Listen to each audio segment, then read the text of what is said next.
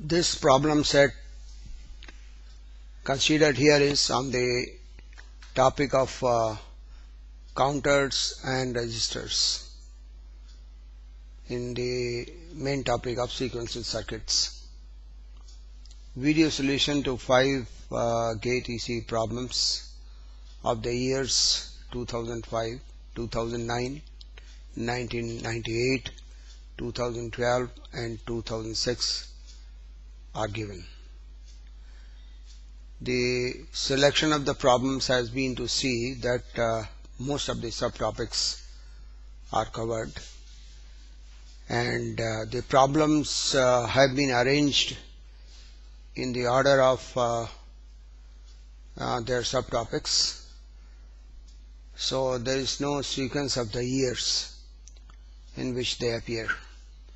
The first problem is of uh, gate 2005 and is based on ripple counter and one has to determine the next state of the counter having three T type of flip-flops.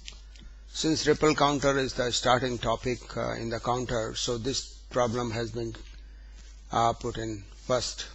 The second problem is of gate uh, EC 2009 and is on synchronous counter having two JK flip-flops.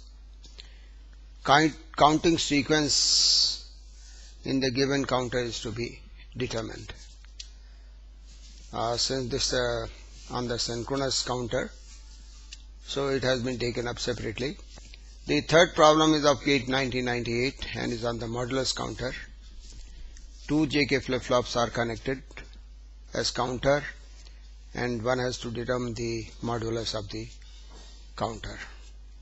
So this is another variety in the problem set. The fourth problem is of gate 2012. This problem is on the state diagram. A logic circuit is given and uh, one has to determine the correct state transition diagram because uh, not many problems uh, have appeared on state transition diagram this is the one problem which I could uh, uh, get and consider here for you to uh, get an idea of the state transition diagram. Now the fifth uh, and the last problem is on the digital circuit consisting of D flip-flops, full adders and shift registers out of this uh, output of the circuit after two clock pulses is to be determined.